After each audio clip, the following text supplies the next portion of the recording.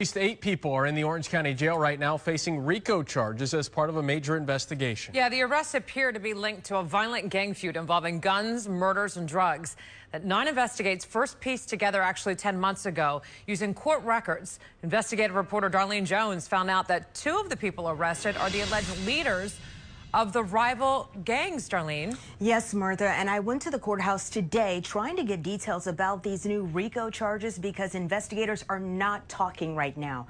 The details are sealed, though, in court records, but I can tell you that it's in part because there are still targets of this major case who haven't been arrested yet. Take a look at the people you see here. All of them are now facing charges for racketeering or conspiracy to commit racketeering under the RICO Act. Cases designed to prosecute criminal enterprises. One of the suspects includes local rapper Glokk Nine, whose real name is Jaquavius Smith.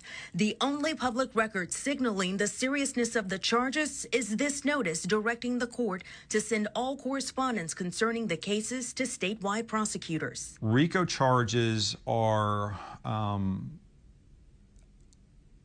designed to prosecute criminal enterprises. We first told you last September that investigators believed a feud between rappers Glokk Nine and Hot Boy 438, whose real name is Javari Walker, set off a string of gun violence spanning from Orange to Osceola counties. Days after our investigation, the sheriff's office publicly acknowledged the gang problem and pleaded with the public for help. Some of the uh, the homes that have been targeted are occupied or members of the 438 or Army gang will stay in those residences. We have been able to tie them back to members of the gangs. More court records confirmed for us last year that investigators believed Glokk Nine and Von Sean Sands were the leaders of the respective gangs.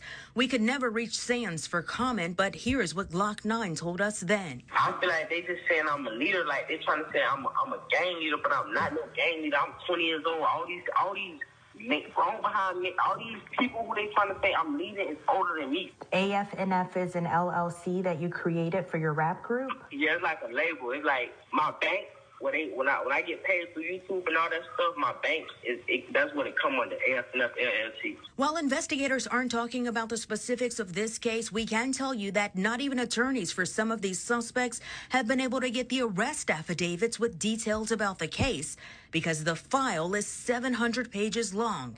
And here's what it'll likely include. This case and, and most cases like it will in, will involve a tremendous amount of wiretap calls and will probably involve a tremendous amount of, of physical surveillance by law enforcement and tracking the money to see if it was used to keep up the so-called enterprise. RICO charges can carry up to 30 years in prison. No one will say right now when we will get the full details of this investigation, but you can bet we will stay on top of this one.